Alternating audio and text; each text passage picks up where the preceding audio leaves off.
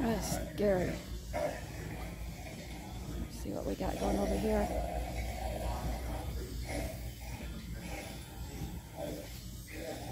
Guess that one's not working, but it is scary.